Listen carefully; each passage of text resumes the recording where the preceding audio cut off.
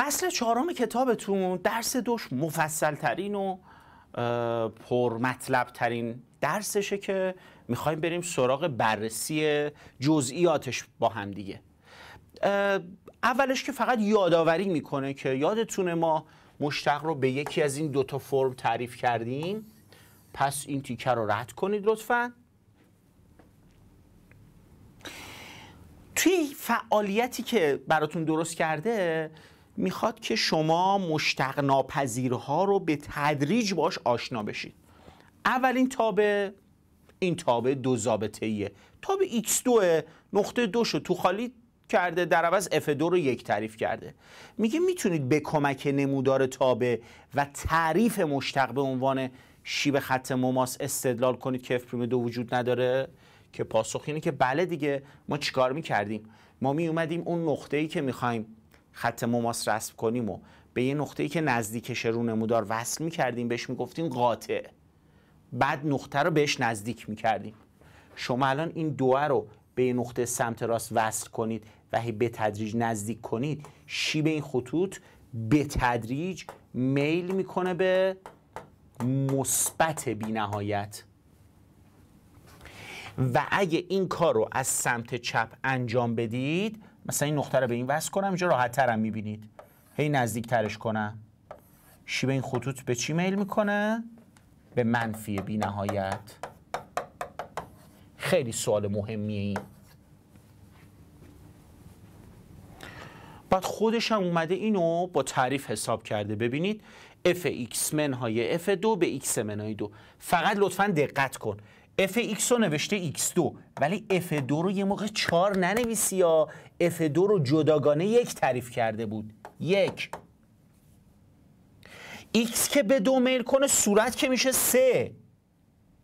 صورت میشه سه مخرج میشه صفر. که بعد اومده جدا کرده. دو راست بدیم مخرج مثبت میشه مثبت بینهایت. دو چپ بدیم میشه منفی بینهایت. اینا مشتقای راست و چپمونن در واقع. بریم ببینیم که همین در آورده بودیم یا اشتباه کردیم.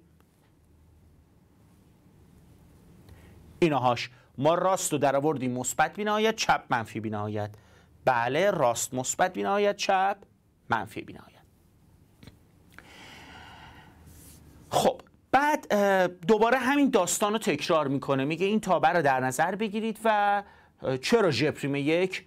موجود نیست که باز می‌تونیم همین کار رو انجام بدیم که هم با شکل توضیح بدیم همین که بذارید من این دفعه با تعریف مشتق بنویسم. ژ پریم چون احتمالا جا کم میارم میرم بالا. ژ پریم دو. میشه limit x به سمت دو. ژ x منهای ژ دو به x منهای دو. x منهای یک ببخشید. به خاطر اینکه نقطه مورد سوال اصلا دو نیست نقطه یک.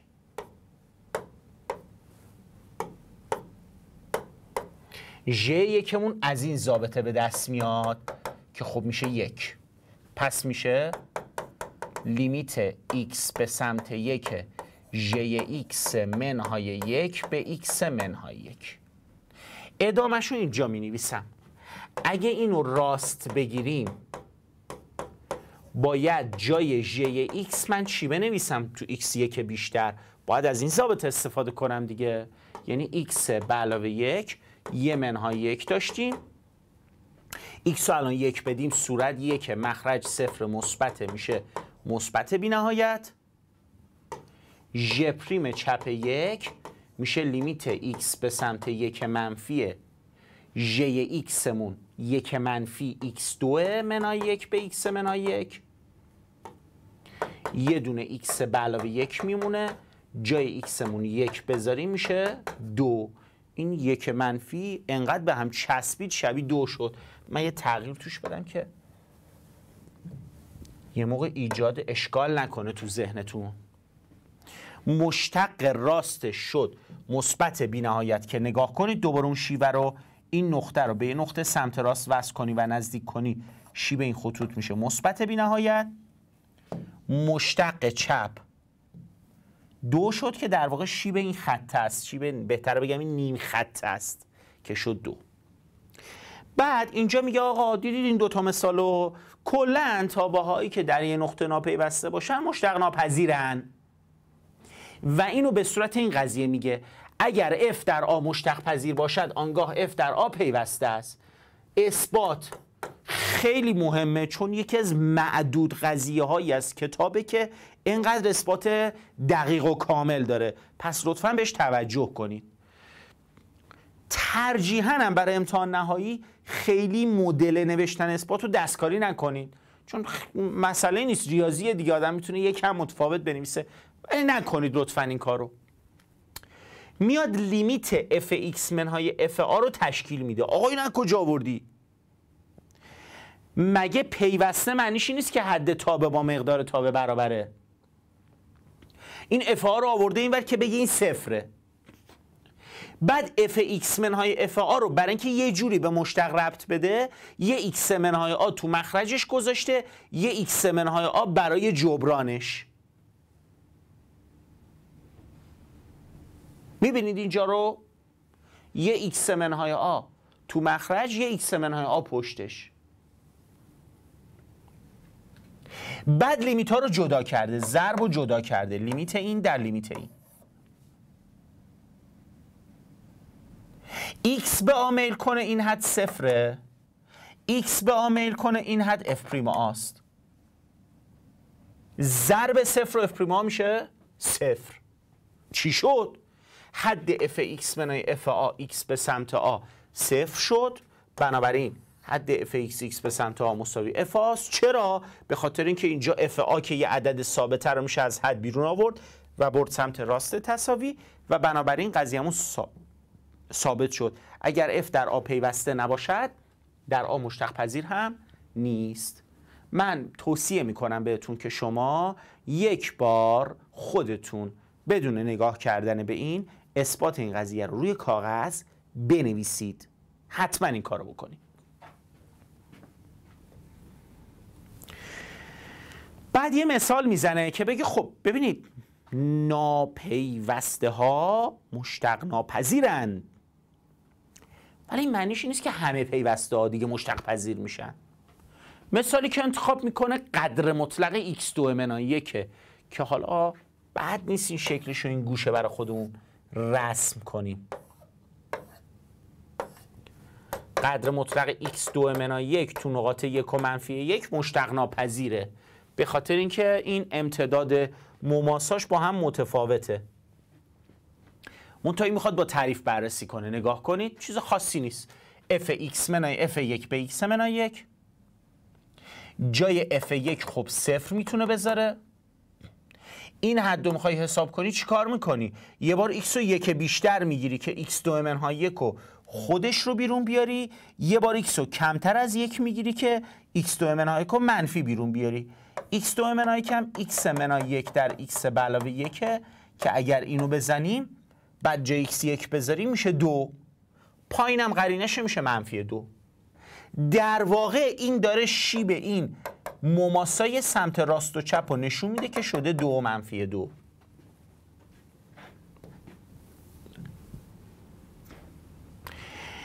قشنگ اینجا همین توضیح داره میگه. میگه اف یک موجود نیست. مماس منحنی مماس بر منحنی در نقطه یک وجود ندارد. مماس وجود ندارد. بلکه نیم های مماس بر منحنی در نقطه یک در واقع وجود داره. نیم مماس راست نیم مماس چپ.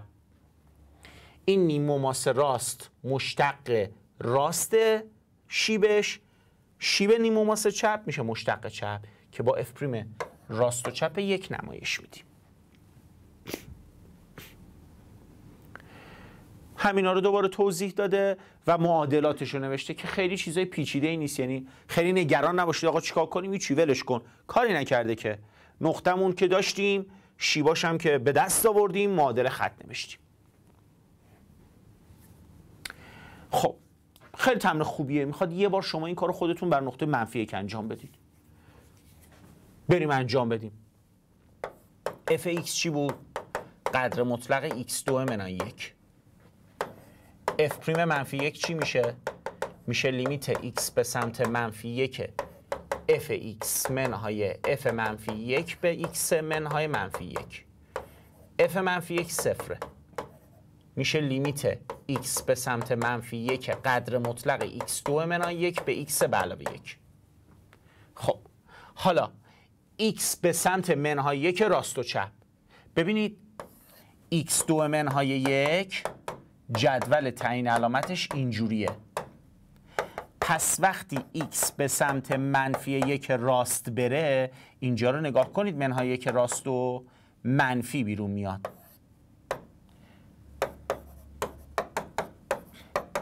اینو اتحاد مزدوج بنویسیم با پایینی بزنیم یه x منهای یک ازش میمونه. جا x منفی یک بذاریم میشه دو.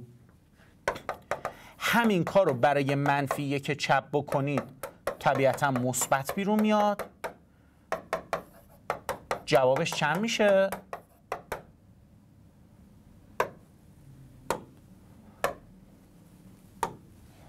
جوابش میشه منهای دو. مشتق راست در نقطه منفی یک دوه مشتق چپ در نقطه منفی یک منفی دوه. مختصات نقطمون هم منفی یک و صفره.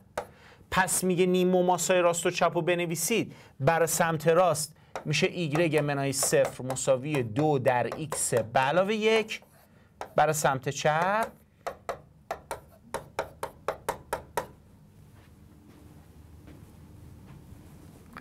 اینم خدمت شما. مشتق راست و چپ. دقیقا همون تعریف مشتق فقط یه بار راست نوشته یه بار چپ. هیچ نکته ای نداره که بخواد اذیتتون کنه. بعد مثال می‌زنه که ببینید توابع یعنی می‌دونید می‌خواد تشویقتون کنه که از این به بعد از این قضیه استفاده کنید که اگه تابع در یه نقطه ناپیوسته است سریع می‌تونید بگید مشتق ناپذیره. چون بعضی جا ما نیاز داریم بگیم مشتق ناپذیر تمام. الان مثلا میگه براکت x در صفر ناپیوسته است رادیکال x در صفر ناپیوسته است پس مشتق ناپذیر تمام. این تمام میگم چون بعضی موقع مثلا مشتقای راست و چپ و جدا می‌پرسن وارد ریزکاری ها میشن. ولی یه موقع فقط داره میگه مشتق پذیر آره یا نه؟ میگی نه. ناپیوسته است مشتق ناپذیر. خب حالا میره سراغ یه حالت دیگه مشتق ناپذیر که خیلی هم حالت مهمیه. تابع هایی که مماس قائم دارن. یعنی تابع اینجوری میاد تابع رادیکالیا. میان میچسبن به یه خطی که موازی محور ایگرگه برای این کار تابع ریشه سوم ایکس رو مثال زده در نقطه صفر. تعریف مشتق چی بود؟ اف ایکس منهای اف صفر به ایکس منهای صفر. که دیگه منهای صفرش رو ننوشته دیگه اومده جلو گفته دیگه تعریف مشتق و تیک های اولش رو ذهنی انجام بدید. فرجه 3 x رو با x ساده کنیم. x بالا توانش یه سومه. پایین توانش یکه. از هم کم کنیم میشه x به توان دو سوم. یعنی یک به رادیکال فرج 3 x2 x به سمت صفره. مخرجم که x2 داره مثبتش می‌کنه میشه مثبت بینهایت. بعد میگه حالا بیایید توی شکل تعبیرش کنید. ببین. نقطه صفر رو به یه نقطه سمت راست وصل کن بعد اینو هی نزدیک کن. شیبه این خطوط به چی میل می‌کنه؟ مثبت بینهایت. سمت چپ چی؟ بازم مثبت بینهایت. پاک کنیم شکلمون رو خرابش نکنیم. بریم ببینیم خودش چی گفته تو صفحه بعد. دقیقا همین رو توضیح داده. شکل بزرگ خوب درجه یک از کتاب درسیتون. خیلی خوبه. خیلی قشنگ به این موضوع توجه کرده.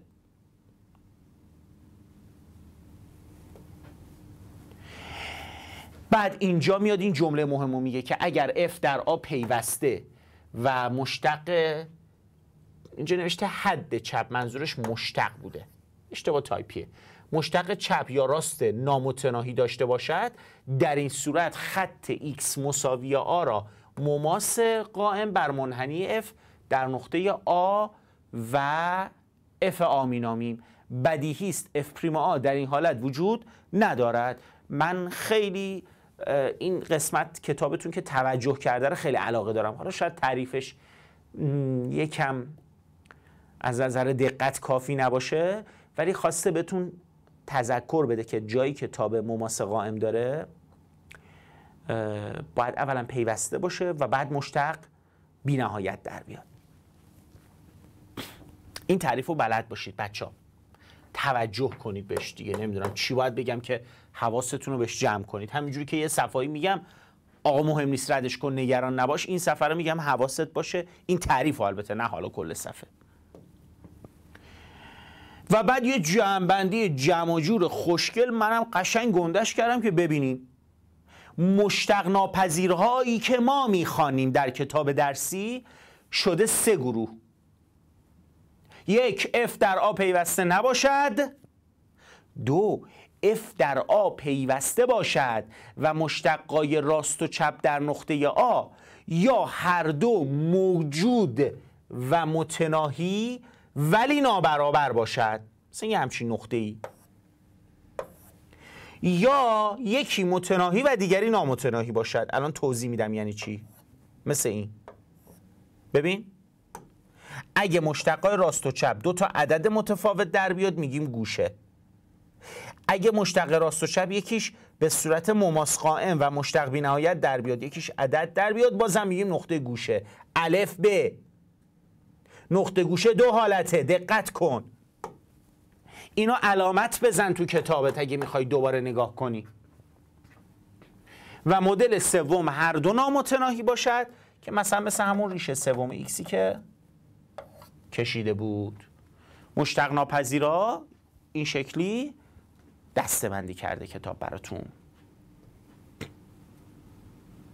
بریم کار در کلاس. در شکل های زیر هر تابه در کدام نقطه یا نقاط مشخص شده مشتق پذیر نیست. در x2 مشتق پذیر نیست چون که مماسای راست و چپ هم امتداد نیست. در x2 و x3 به دلیل ناپیوستگی مشتق ناپذیره. در x1 و x3 به دلیل اینکه نقطه گوشه‌ایه و مشتق راست و چپ متفاوته مشتق ناپذیره. تو شکل بعدی x نقطه تعریف نشده است مشتق ناپذیره. x مشتق بینهایت داره مماس قائم داره. مشتق ناپذیره x2 هم مشتق بینهایت در سمت راست و چپش داره و مشتق ناپذیره بعدم میاد میگه آقا این همه هی تو مشتق در یه نقطه به خصوص حساب کردی؟ اگه به که مشتق در یه نقطه به خصوص حساب کنی بیای کلی حساب کنی می‌تونی تابع مشتق پیدا کنی. تابع مشتق یعنی اینکه مشتق یک تابع رو در هر نقطه ای مشخص می‌کنه. مثلا شما وقتی میگید مشتق x2 میشه 2x یعنی از تابع x2 در هر نقطه دلخواهی مثل a مشتق بگیری میشه 2a منتها دیگه می نویسیم f x مساوی 2x پس این هم نگرانی خاصی نداره. بعد میاد برای تابع x2 به عنوان مثال f x رو حساب می‌کنه. لیمیت هاش به سمت صفر f x به علاوه هاش منای f x تقسیم بر هاش. مدل اول تعریف مشتق. F x به علاوه هاش می‌ذاریم این تو میشه x به علاوه هاش به توان دو. F x مون چیه؟ X2 اینو به توان دو برسونیم میشه x2 به اضافه دو هاش x به اضافه هاش دو. X2 با x2 میره. یه هاش فاکتور می‌گیریم. هاش بالا پایین رو می‌زنیم این میمونه. این هم هاش رو صفر می‌ذاریم میشه دو x حواستون رو به این جمع کنید. یه موقع دیدی حوض کردن گفتن که به کمک تعریف مشتق فرمول مشتق تابع fx مساوی x2 را به دست آورده و ثابت کنید.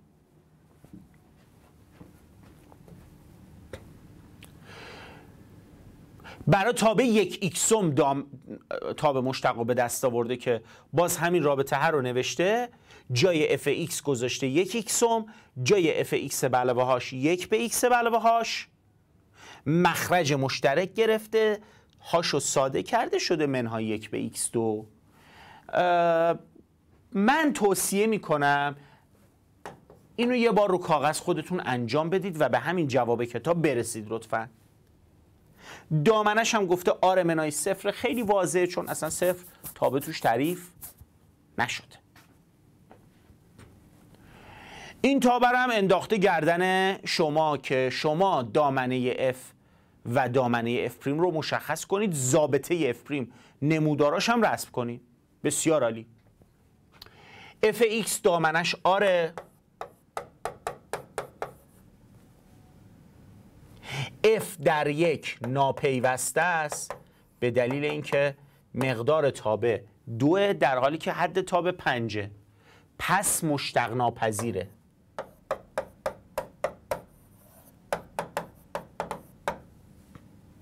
بنابراین دامنه F پریم میشه آر منهای یک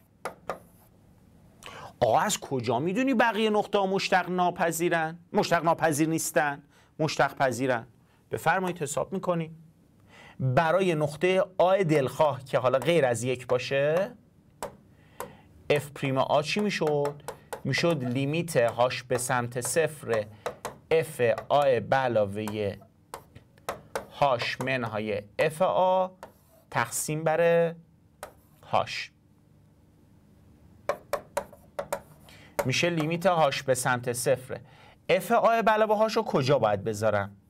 ببین هاش رو هر چقدر به صفر نزدیک کنیم آ به علاوه هاش نزدیک آ و به هر حال یه چیزی غیر از یکه پس باید تو ضابط بالایی بذارم. اف آ هم تو ضابط بالایی باید بذارم.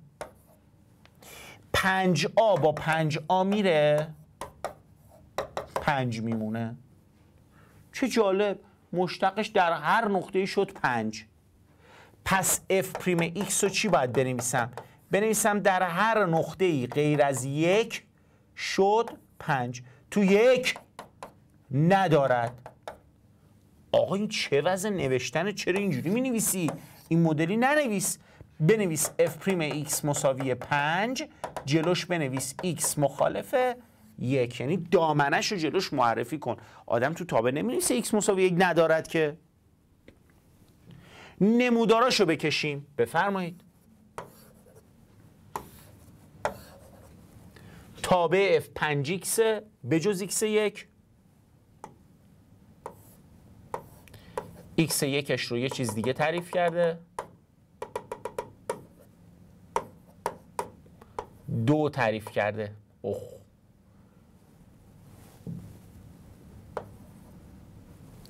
نمی‌دونم فکر ریز می نویسم اینجوری میشه؟ خیلی خوب درست شد.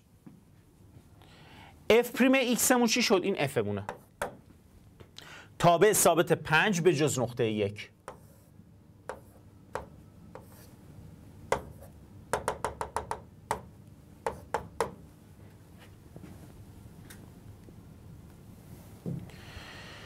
خب حالا میره تو قضیه های محاسبات مشتق.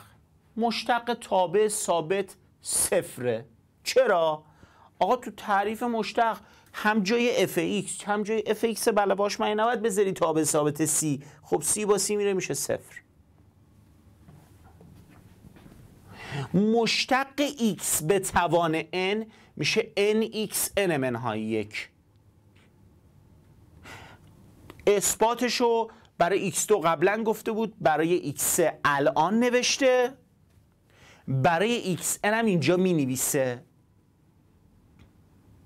برای n طبیعی می نویسه ولی بعد میاد میگه برای n سعی هم همینه ها. از جمله این که میگه یک x هم مشتقش رو اگر می‌خوای بگیری می‌تونی اول بنویسیش x به توان منفی یک بعد این توانه میاد میشه ضریب یه دونم از توان کم میشه میشه منفی x به توان منفی دو. اینو بلد باشید لطفا. خطرناکه. یه دفعه دیدید گفتن اینو اثبات کنید اثباتش تر و تمیز بسیار بسیار مرتب تو کتاب درسیتون وجود داره همین صفحه 93 بلد باشید. من فکر کنم بد نیست من توی یه صفحه دیگه ای که اینجام نداریم. حالا الان پیدا می‌کنم یه صفحه.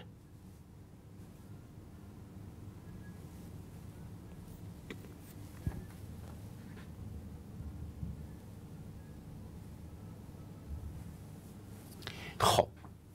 توی صفحه دیگه یه دور اینو براتون اثبات کنم. یه دور دوره میشه. خوبه. اینم عدد طبیعیه. F' x. میشه لیمیت هاش به سمت صفر. f x به علاوه هاش منهای f x تقسیم بر هاش. f x مون x به توان n. پس میشه x به علاوه هاش به توان n منهای x n اتفاقا این همون اتحادیه که توی درس دو فصل یک با هم مرور کردیم. آ به توان n منهای b به توان n چی می‌شد؟ می‌شد.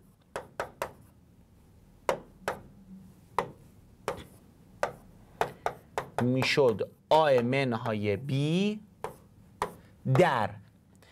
اولی توان n منهای یک می‌گرفت. بعد یه دونه از توان اولی کم می‌شد دومی ظاهر می‌شد. و این ماجرا ادامه داشت تا موقعی که دومی توان n های یک می‌گرفت.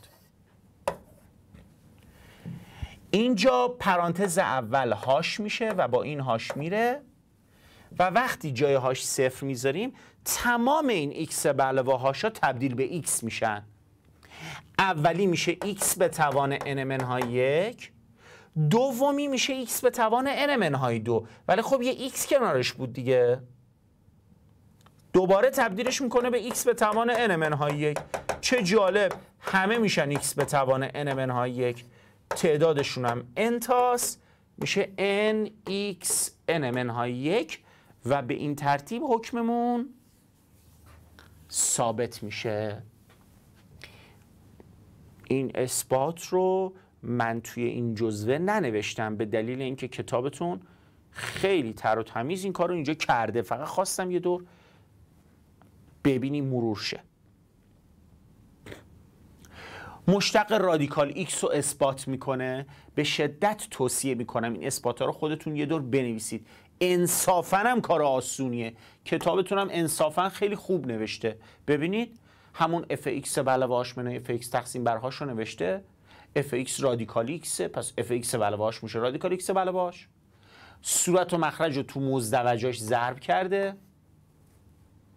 صورت شده به علاوه هاش منهای x هاش با هاش رفته. فقط همون مزدوجه مونده جای هاش صفر گذاشته شده یک به دو رادیکال x بنابراین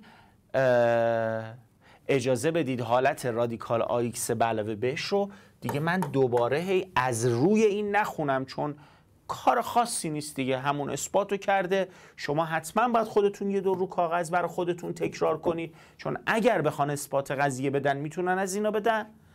و کار سختی هم نیست. یه بار خودتون انجام بدید. اگه اشکالی داشتید با کتاب چک کنید حل میشه. خیلی هم خوب نوشته کتاب. رادیکال فورج 3 هم باز همینطور.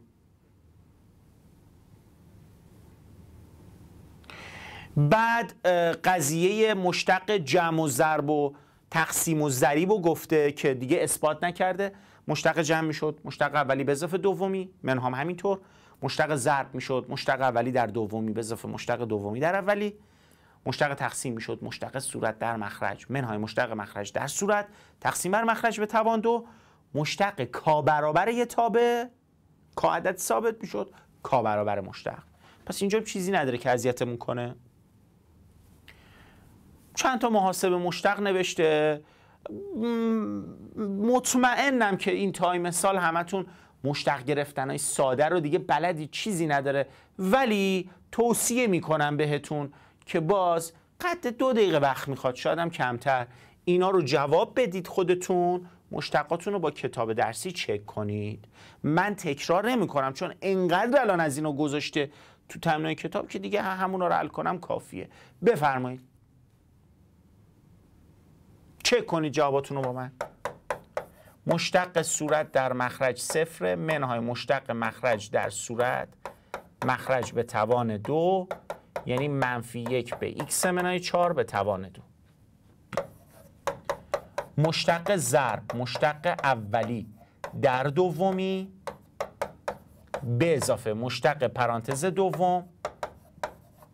در اولی. قسمت پ. مشتق صورت که یکه. در مخرج منهای مشتق مخرج که چهار ایکس به علاوه یکه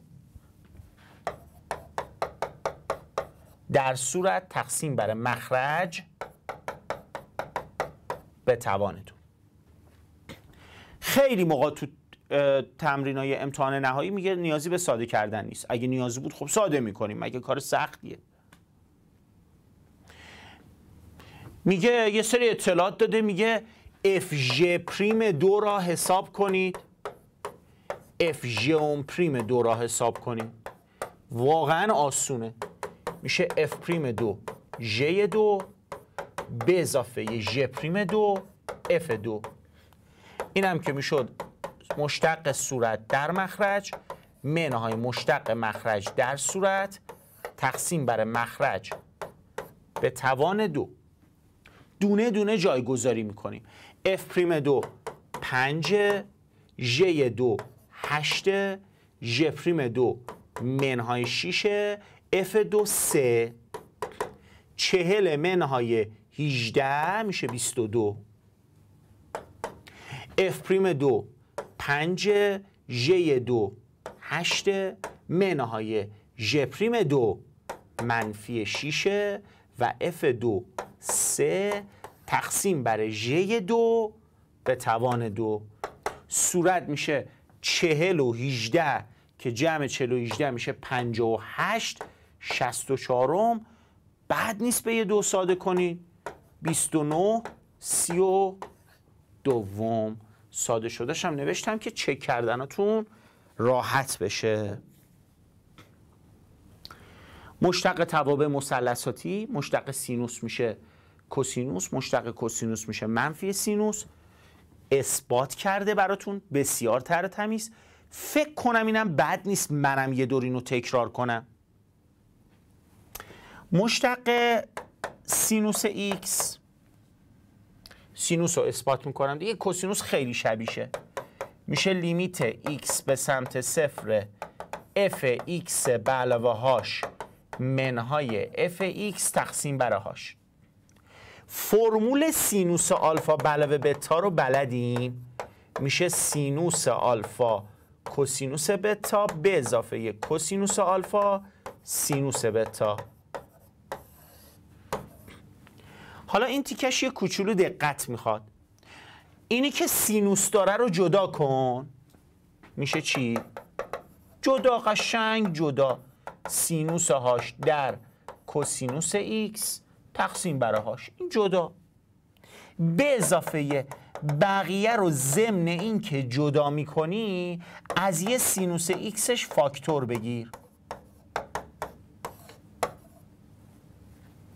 بعد بیا بگو پارسال قضیه داشتیم که این یک قضایای پارسال.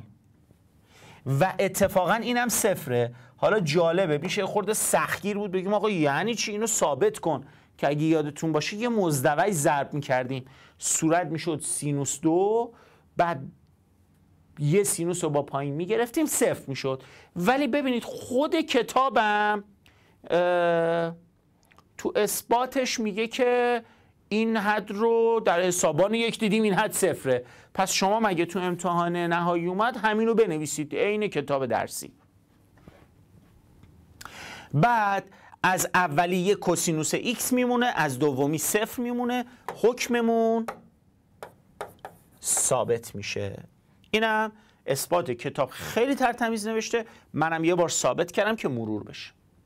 کوسینوس هم شبیه همون. واقعا دیگه لازم است تکرار کنم ولی بسیار کار خوبیه. شما الان یک دور تو کاغذ جلوتون برای خودتون انجام بدید که خیالتون راحت چه فهمیدین. مشتق تانژانتو میگه دیگه لازم نیست از اول بیایم مشتق رو با تعریف بگیم. تانژانت تقسیم سینوس به کوسینوسه. میشه مشتق صورت در مخرج. منای مشتق مخرج در صورت. تقسیم بر مخرج به توان دو. مشتق صورتش میشه کوسینوس در مخرج. منهای منهای مشتق مخرج. مشتق مخرج خودش یه منها داره. به خاطر همین شده به علاوه سینوس. در صورت تقسیم مخرج به توان دو. اتفاق باحالی که میفته اینه که صورت یک کوسینوس دو به علاوه سینوس دو ایجاد میشه که یک یک به کوسینوس دو هم میشه یک به علاوه تانژان دو. بله دیگه همین. مشتقای خیلی ساده است دیگه شما چک کنید فقط با من. مشتق اولی در دومی. به علاوه اولی در مشتق دومی.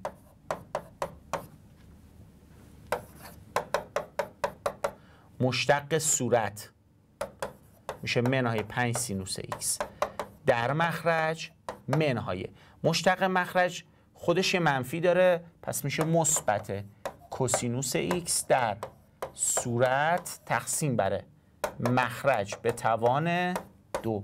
اتفاقا این خیلی هم باحال ساده میشه ولی خب دیگه حالا اگر خواست ساده کنید. الان اینو ضرب کنیم صورت میشه منهای 5 سینوس x به علاوه 5 تا سینوس 2 x به علاوه 5 تا کوسینوس 2 x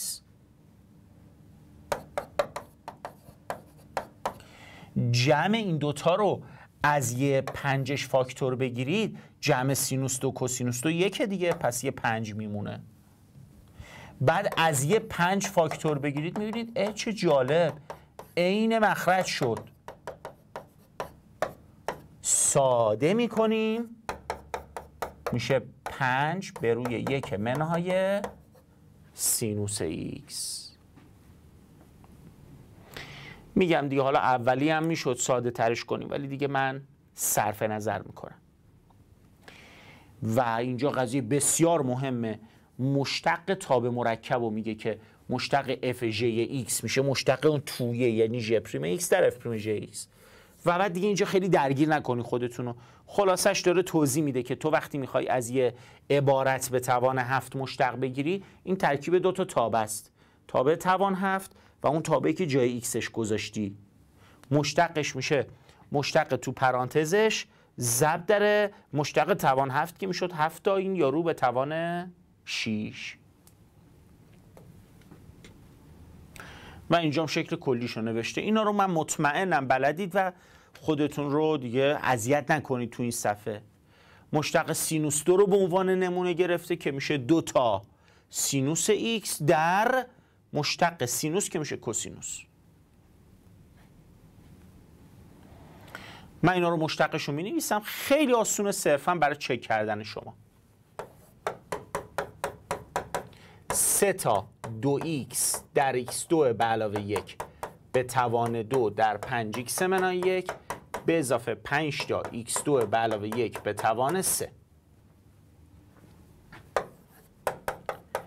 سه تا کوسینوس دو x در مشتق کوسینوس که منفی سینوس x 6x که مشتق تو پرانتزه در کوسینوس 3x2 به اضافه 5 اینجا کتاب میاد مشتق پذیری در بازه رو شبیه پیوستگی در بازه تعریف می‌کنه. که میگه که ما وقتی میگیم تابع در بازه باز آب مشتق پذیره خیلی منظورمون معلومه. یعنی تو تمام نقاطش مشتق پذیره. ولی وقتی میگیم تو بازه بسته آب مشتق پذیره معنیش اینه که تو اون نقطه های بین آب مشتق پذیر کامله ولی توی آ ما منظورمون اینه که مشتق راست داره و تو به منظورمون اینه که مشتق چپ داره. بعدم میگه شما بگید که پس تابع در بازه بسته آب مشتق پذیر است یعنی چی؟ میگیم هرگاه F درون بازه باز آب مشتق پذیر باشد و در چه نقطه ای در آ مشتق راست داشته باشد این هم مثل بالایی F در بازه آب مشتق پذیر باشد و F در ب مشتق چپ داشته باشد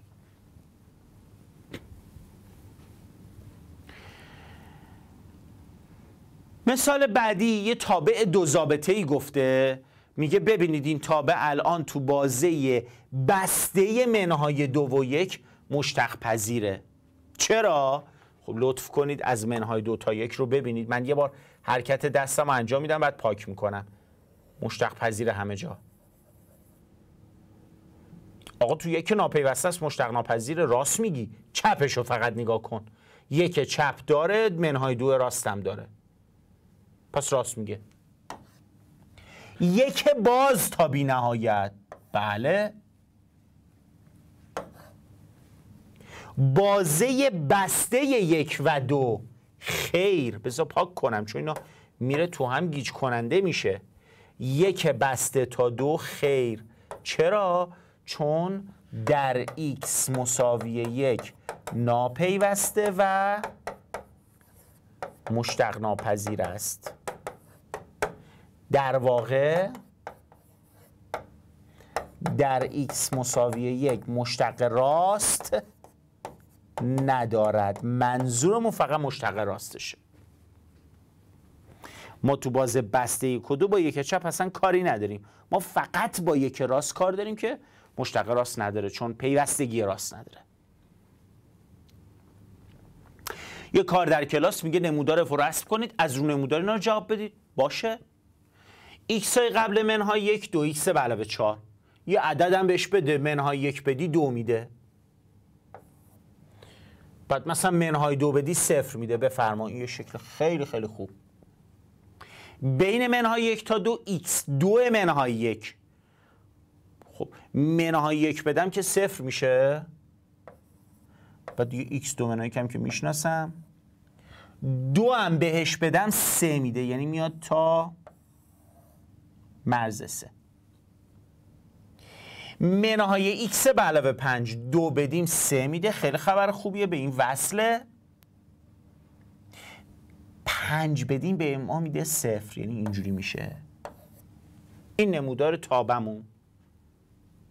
این طرفش هم که نامتناهیه یعنی انتها نداره. بازه بسته منهای یک تا یک. ببینید دیگه من دیگه اینو روش خرابکاری نکنم. منهای یک تا یک. بله؟ دو تا پنج باز اصلا با درونش فقط کار داریم. منهای دو بسته تا صفر بسته. خیر نقطه منهای یک این وسط می‌خوای چی کار کنی؟ پس در منهای یک مشتق ناپذیره.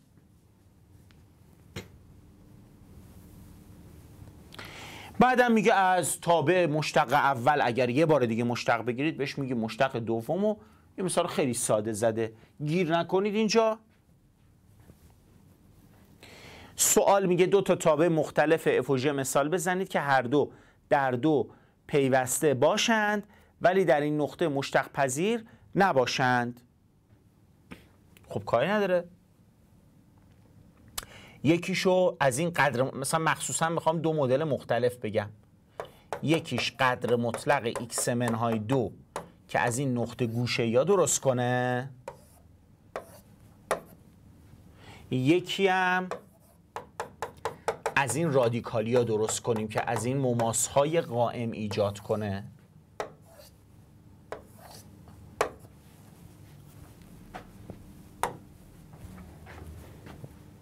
هر دوشون تو دو پیوستن ولی هیچ کدوم در دو مشتق پذیر نیستن. F به خاطر اینکه مشتق راست و چپ با هم متفاوته F پریم راست دو حساب کنید یک F پریم چپ دو منفی یک ژم به دلیل اینکه اگر مشتقش رو حساب کنید مثبت بینهایت در میاد. این کارا رو کردیم کاملا بارها. میگه با محاسبه مشتق راست و چپ توابع داده شده در نقطه آ نشان دهید این توابع در آ مشتق پذیر نیستند. ما می‌تونیم از تعریف بریم ولی چون دیگه فرمولای مشتق رو داریم دیگه اجازه بدید از فرمولا استفاده کنیم. الان تو نقطه آ f پریم صفر راست از x2 مشتق می‌گیریم میشه 2x جای x صفر می‌ذاریم میشه صفر. صفر چپ. باید از ضابطه x مشتق بگیریم میشه یک. چون این دوتا برابر نیستن پس تابعمون چیه؟ مشتق ناپذیره. این تابع f پریم یک راست. از یک ایکس مشتق بگیر میشه منهای یک به x دو جای ایکس یک بذار. مشتق چپ در یک تابه ثابت میشه صفر. با هم مساوی نیستن میشه مشتق ناپذیر. تابع قسمت پ مشتق راسته تو نقطه ای که x 4 داره. باید از یه دوم x مشتق بگیری که میشه یه دوم. مشتق چپت باید از رادیکال x مشتق بگیری که میشه یک به دو رادیکال x. جا x 4 می‌ذاری میشه یه چهارم. اینا با هم برابر نیستن. پس f در چهار مشتق ناپذیره.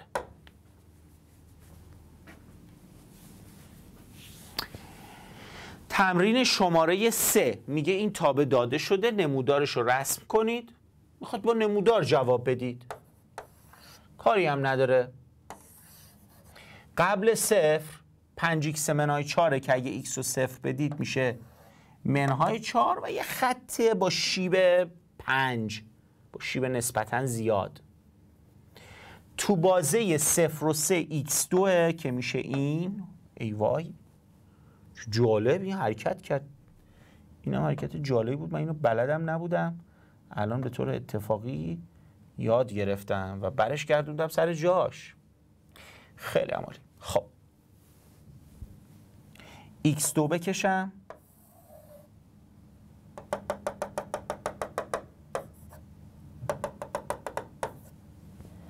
بعدم x به علاوه 6 بکشم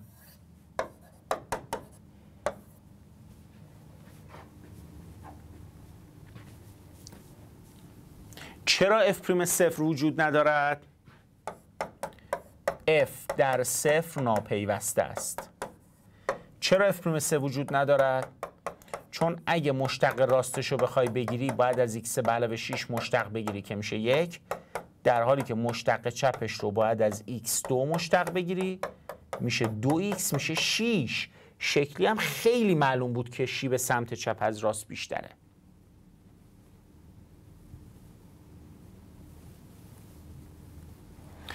این تابه رو داده زابطه تاب مشتق رو می‌خواد.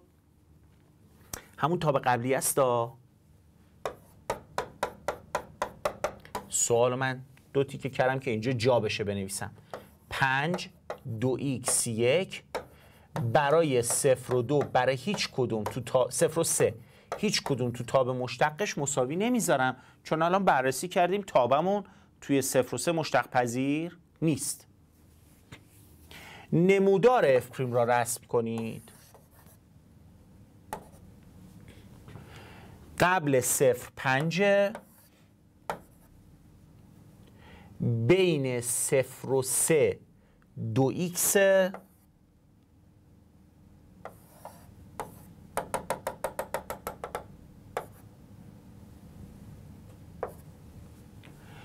بعد از سم تابع ثابت یکه.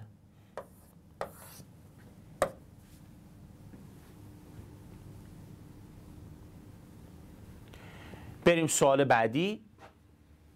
میگه نمودار تابعی رسم کنید که مشتقان الف در یک نقطه صفر شود.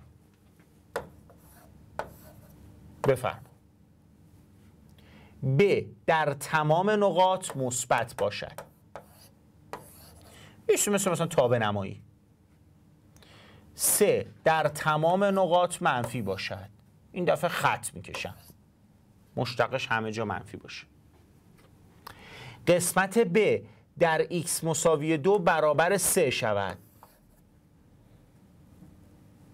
اصلا می‌خواید y مساوی 3 x رو بکشیم ها؟ تو همه نقطه ها مشتقش سه. چه اشکال داره؟ در تمام نقاط یکسان باشد خطی. یه تابع خطی مثلا 3x به علاوه یک در تمام نقاط مشتقش میشه 3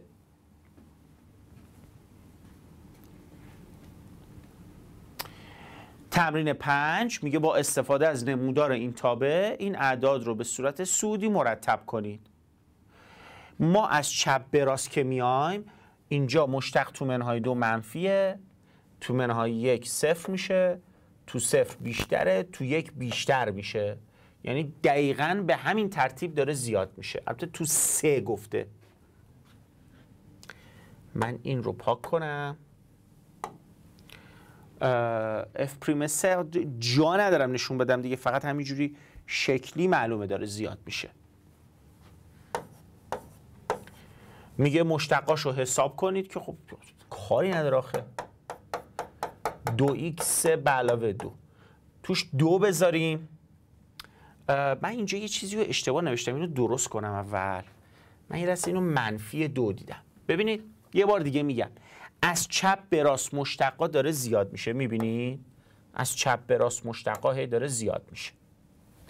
بنابراین از همه کوچیکتر اف پریم منفی یکه بعد اف پریم صفر بعد اف پریم دوه بعد اف پریم سه. تو مشتقاش این عددا رو جایگذاری کنید منهای یک بذارید میشه صفر.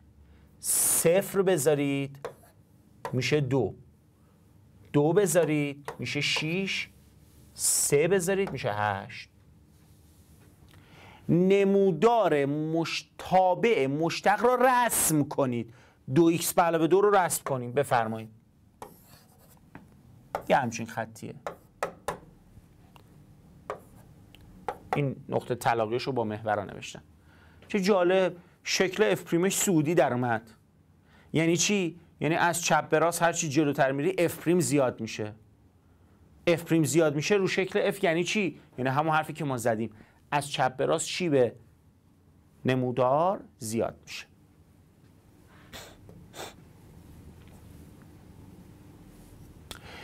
میگه مشتق پذیری این تابه رو در نقطه یک بررسی کنید. بعضی از از این مدل که تو امتحان نهایی اومده امتحان نهایی خیلی اصرار داره که این نقطه مرزی رو با تعریف بررسی کنیم. من فکر کنم بهتره شما هم همین کار رو بکنید یعنی رایت کنید شیوه اونها رو. چجوری؟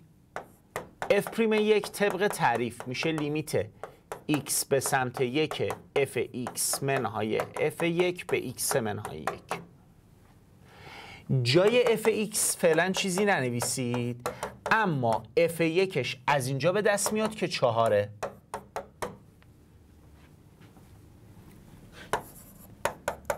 توی یک مثبت جای f(x) ضابط بالایی رو باید بذارید. توی یک منفی جای f(x) ضابطه پایینی رو باید بذارید. توی بالایی صورت x2 منهای یکه که مزدوجش با مخرج میره و جوابش میشه دو. توی پایینی صورت منهای دو مخرج صفر منفیه میشه مثبت بینهایت. ما می‌تونستیم با دانستهامون بگیم که f در یک ناپیوسته و در نتیجه مشتق ناپذیره. ولی من تجربه از امتحان نهایی سال گذشته گفتم که اثبات کرده. حالا می‌بینید دیگه ایشالا. قشنگ همه اینا رو نوشته. یه ذره شاید این اشکال طراحی سوال باشه که باید خیلی واضح بگم با چه روشی می‌خوان. سه تابع مختلف مثال بزنید که مشتق آنها با هم برابر باشد. بیا x2 بعد یه دونه اضافه کن بعد دو تا اضافه کن. مشتقاشون میشن دو x اگر f(x) مساوی قدر مطلق x2 منای 4 باشد به کمک تعریف مشتق مشتق پذیری f را در نقاط به طول دو منفی دو بررسی کنید f پریم دو میشه لیمیت x به سمت دو. fx منهای f2 به x منهای دو. f2 مو صفره.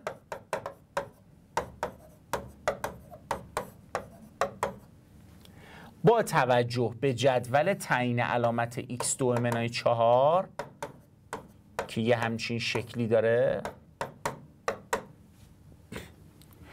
توی ایکس به سمت دو مثبت مثبت بیرون میاد. در حالی که توی ایکس به سمت دو منفی منفی بیرون میاد. تو دو مثبت مزدوجاش رو بزنیم یه ایکس به علاوه دو میمونه. میشه چهار. اینجا مزدوجاش رو بزنی منفی ایکس پرانتز ایکس به علاوه دو میمونه میشه منهای چهار. بنابراین مشتق راست در نقطه دو چهار و مشتق چپ در نقطه دو منهای چهاره. پس اف در دو. مشتق ناپذیره و چون خیلی دیگه اف پریم منفی دو تکرار همینه من فقط جواب آخرش رو برای اینکه شما کنترل کنید می نویسم مشتق راست و چپش به طرز جالبی همین عدد رو در میان. مثبت 4 و منفی 4 بنابراین f در منهای دو مشتق ناپذیره و چقدر خوب میشه که تمام سوالات مثل این سوال تکلیف ما رو مشخص کنن که میگه به کمک تعریف مشتق.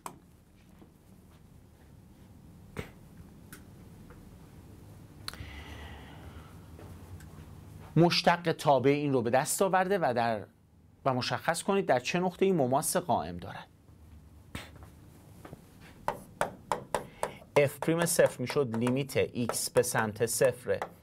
F x منهای f صفر به x منهای صفر. جای f x بنویسید رادیکال فرج 3 x2 f صفر صفر صورت و مخرج رو ساده کنید. به دلیل اینکه x بالا توان دو سوم داره پایین توان یک داره میشه یک به روی فرج 3 x. اینم باید جدا کنیم. درسته یک به صفر بینهایته ولی جدا جدا.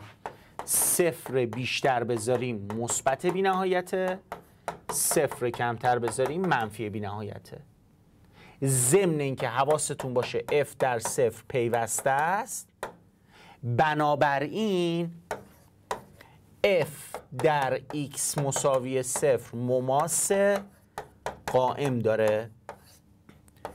بچه ها قیافش هم یه همچین چیزیه. شبیه فرج 3 x فقط هر دو شاخش بالاست. اینم مماس قائمش.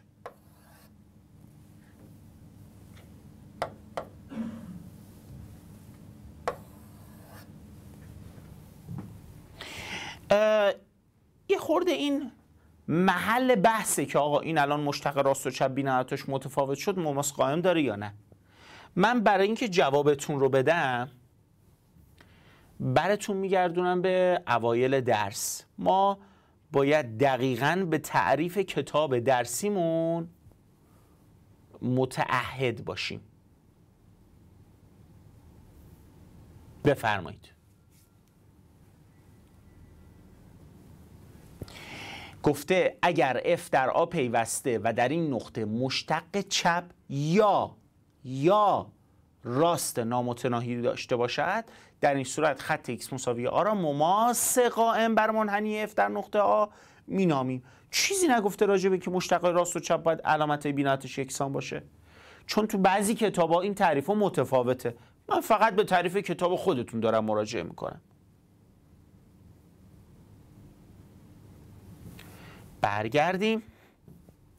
امیدوارم که کاملا قانع شده باشید.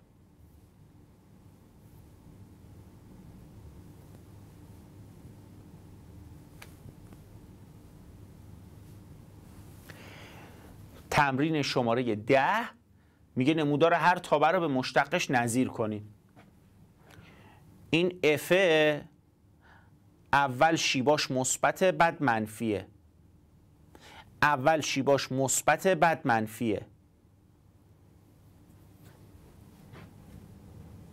اینهاش این اول مثبت بعد منفیه. این که تابه ثابت مشتقش صفره. این اول مشتقش منفیه بعد مثبته.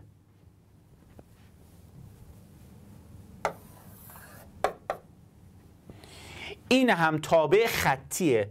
مشتقش میشه یه عدد ثابت چون شیبش منفیه میشه یه عدد ثابت منفی. این هم خدمت شما.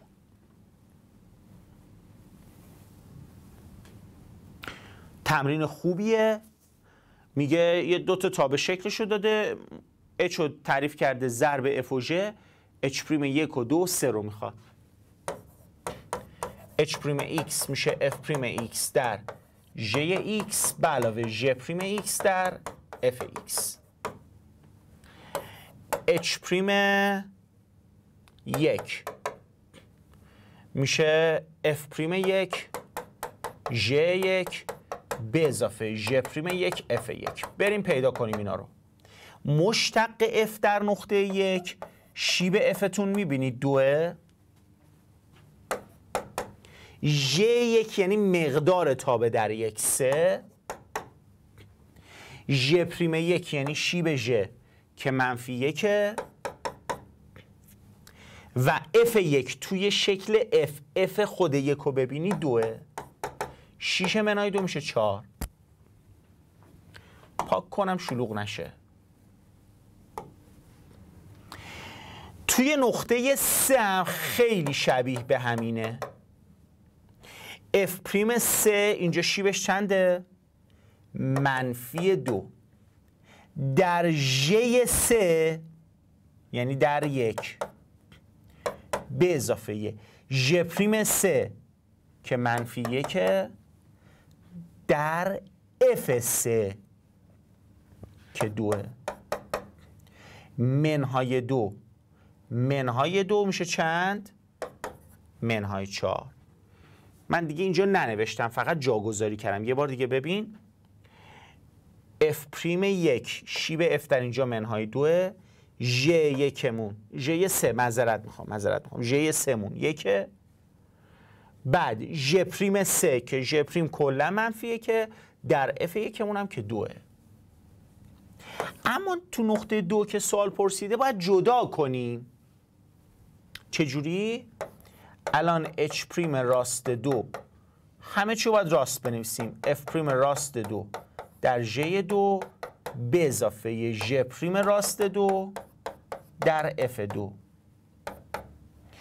اف پریم دو سمت راست. شیبش منهای دوه ژ دومون خود دوه ژ پریم کلا منفی یک راست و چپ نداره. اف دو هم چهاره همینو بکنیم مشتق چپ. تنها چیزی که عوض میشه مشتق چپ در اف که مثبت دوه. بقیه چیزا عوض نمیشه. جواب اولی میشه منهای هشت جواب دومی میشه صفر. پس تابمون تو نقطه دو مشتقای راست و چپ برابر ندارد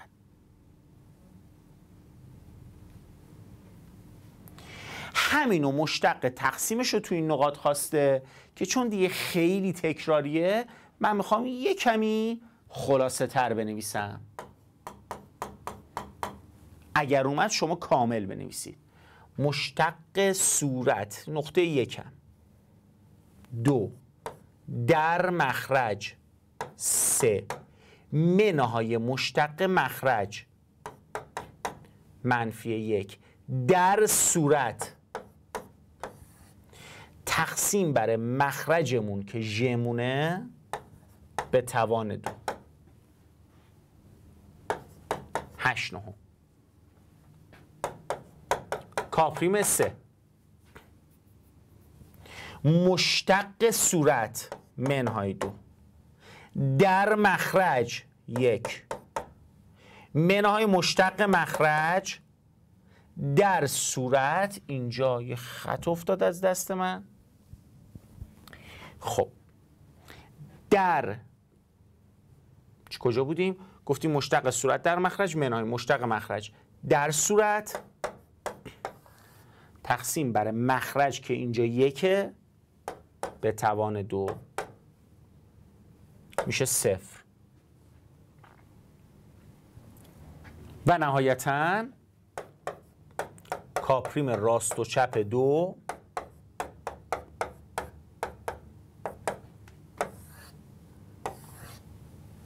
تو نقطه دو مشتق صورت که افه سمت راستت. منفی دوه سمت چپت مثبت دوه در مخرج یعنی در مقدار ژ که دوه منهای مشتق مخرج مشتق ژ که براش راست و چپ فرق نمی‌کنه منهای که در صورت که ژ در مخرج که ژ دو چهاره تقسیم بر مخرج به توان دو. اولی میشه صفر دومی میشه یک دوم. اینا خیلی ببخشید دیگه طولانی و شاید خسته کننده شد. شما که درست کردید ایشالا تونتون زدید جلو فقط چک کردید جواب آخرتون رو. سوال بعدی دو تا خبر داده اینا رو می‌خواد. خب این که میشه f پریم یک به علاوه ژ پریم یک میشه هشت. این میشه سه تا f پریم یک به علاوه دو تا ژ پریم یک میشه 9 به علاوه 10 19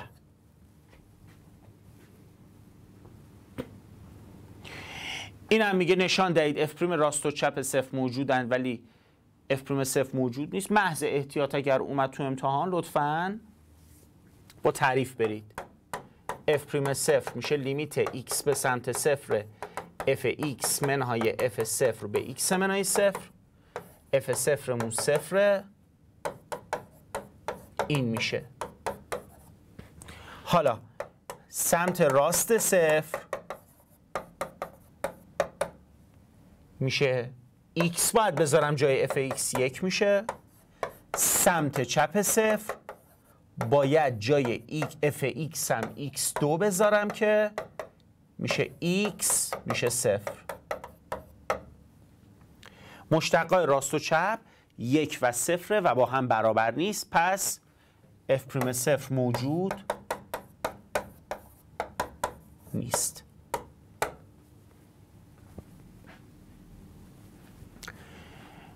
یه سری تابه ها رو فرمول مشتقش رو می‌خواد. مشتق اولی در دومی مشتق دومی لطفا اون سه چیز مشتق تو پرانتز که دوه یادتون نره. در اولی. قسمت پ رو دارم می نویسم بنویسم اینا رو. این الف بود این پ مشتق اولی. سه به دو رادیکال سه ایکس به علاوه دو. در دومی به علاوه مشتق دومی.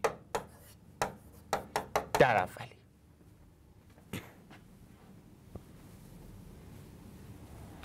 بازم همینطور. مشتق کسر. مشتق صورت. در مخرج منهای مشتق مخرج میشه. منهای منفی سه. در صورت تقسیم بر مخرج به توان دو. قسمت ت کمی زیرش می نویسم مشتق صورت 9 منهای مشتق مخرج. تقسیم بر مخرج به توان دو. مشتق تابع مثلثاتی قسمت الف. مشتق سینوس 3 میشه. 3 تا سینوس 2 ایکس. مشتق سینوس یادت نره؟ دو تا کوسینوس ایکس. مشتق کوسینوس یادت نره. مشتق تانژان دو میشه. دو تا تانژانت x در مشتق تانژانت. مشتق کوسینوس میشه. منفی سینوس.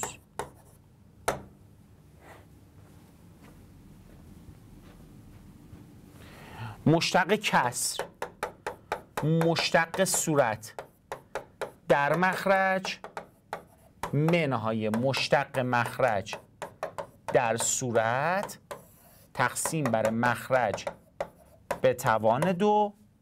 که حالا میگم ساده کردن اگه نیاز بود ساده می‌کنیم. مثلا این الان خیلی خوب ساده میشه. ساده شدهش میشه منهای دو تا کوسینوس x به روی یک به علاوه سینوس x به توان دو این هم مشتق ضربه مشتق اولی. در دومی به اضافه مشتق دومی که منفی دو تا سینوس دو ایکس در اولی. و آخرین سوال این تابع رو داده این مقادیر رو می‌خواد. خب.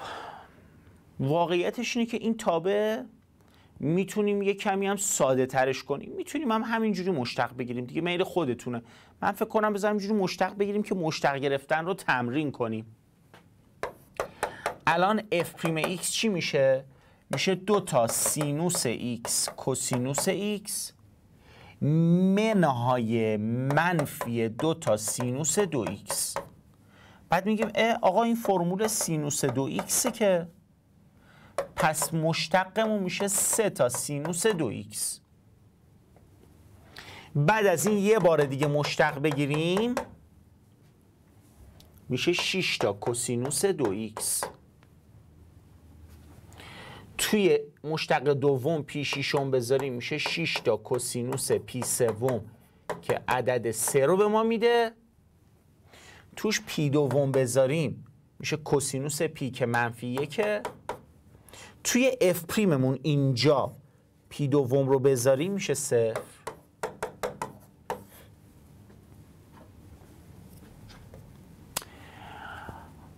تمرینای این قسمت از مشتق هم به پایان رسید.